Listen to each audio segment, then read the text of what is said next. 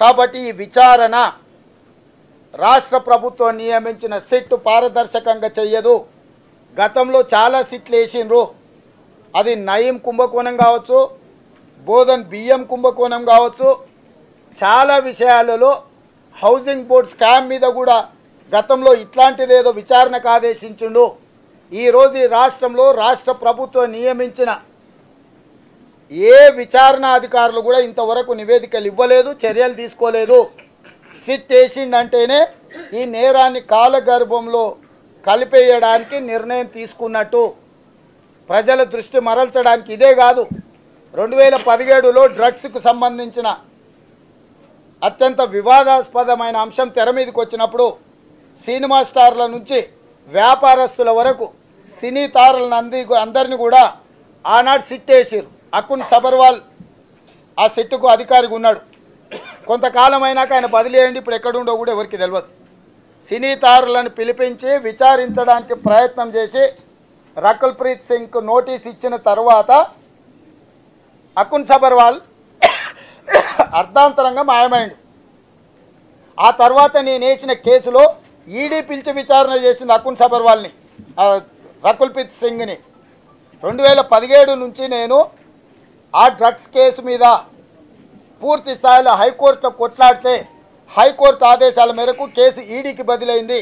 ఈడీకి బదిలైన తర్వాతనే కొంతమంది సినిమా తారల్ని పిలిచిండ్రు. ఆ పిలిచిన సినిమా తారలు రకుల్ ప్రీత్ సింగ్ కూడా ఉన్నది మీరు అందరు చూసిండ్రు.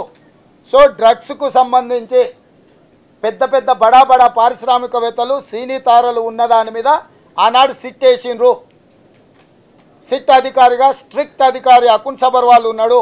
అర్ధాంతరంగా అతను మాయమైపోయిండు. నయీం అక్రమ ఆస్తుల మీద కూడా సిట్ వేసిండు. అది ఎక్కడికి పోయిందో తెలియదు మీ నిజామాబాద్ జిల్లాలో రైస్ మిల్లర్ల కుంభకోణం మీద కూడా ఒక సిట్టును వేసిండ్రు. దాని నివేదిక ఎక్కడుందో తెలియదు కాబట్టి ఈరోజు ప్రశ్నపత్రాల లీక్ కుంభకోణము.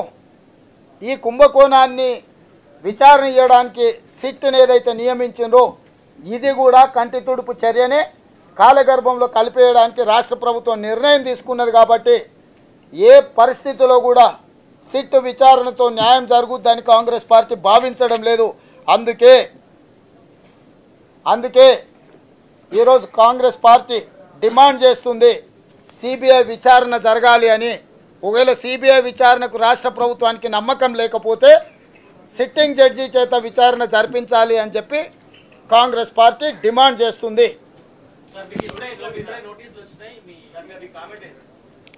ఏ నోటీసులు?